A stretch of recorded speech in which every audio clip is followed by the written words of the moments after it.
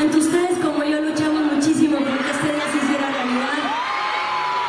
Quiero agradecerles porque todo este tiempo que ha sido más o menos un año de, muchísimo trabajo, han estado ustedes presentes, aunque sea en la distancia, han estado todo el tiempo apoyándome y creyendo en este sueño. Y esta es la, la prueba de que sí se cumple. Los amo muchísimo y siempre los traigo en mi corazón. Gracias. Y espero que estén